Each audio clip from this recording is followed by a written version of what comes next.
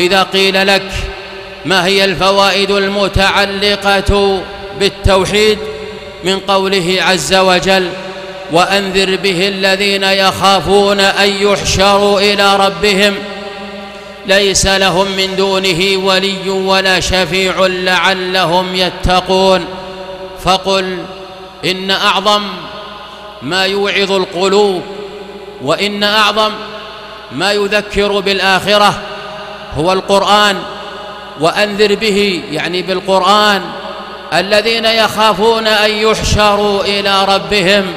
ولذلك لما كانت القيامة تقوم في يوم الجمعة كان النبي صلى الله عليه وآله وسلم كثيرا ما يقرأ سورة قاف على المنبر كما عند مسلم تذكيرا للناس بذلك اليوم. بل إن في آخر هذه السورة فذكر بالقرآن من يخاف وعيد. بل في صحيح مسلم كان يقرأ صلى الله عليه وآله وسلم بالسجدة وبالإنسان في فجر يوم الجمعة لأنهما تذكران بيوم القيامة. بل من جعل اليوم الآخر نصب عينيه فإنه ينتفع بالقرآن. لدلالة هذه الآية